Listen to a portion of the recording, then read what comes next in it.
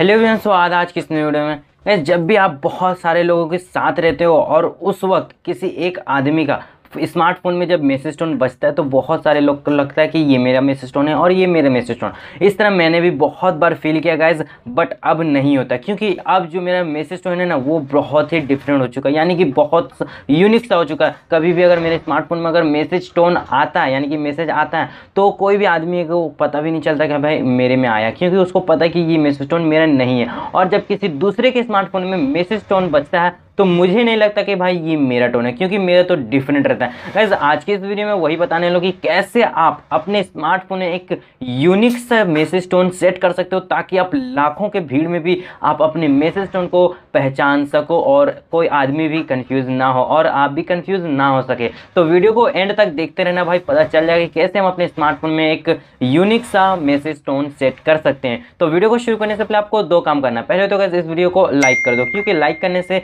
हम लोगों को मोटिवेशन मिलती है और साथ ही पता चलता है हमारी वीडियोस कितने लोगों को पसंद आ रही हैं। एंड सेकंड क्या हम ये कि आप अब तक हमारे चैनल को सब्सक्राइब करके नहीं हो तो वहाँ आपको रेड बटन दिख रहा है उससे दबाकर सब्सक्राइब कर लो और बेल को प्रेस करके ऑल पे सेट कर देना, ताकि जो हमारे नए नए लेटेस्ट वीडियोज़ आएँगे, उनके नोटिफिकेशन आपको मिल जाएगी तो चलेगा बिना टाइम वेस्ट के वीडियो को स्टार्ट करते चलते हम अपने स्मार्टफ़ोन के स्क्रीन पर।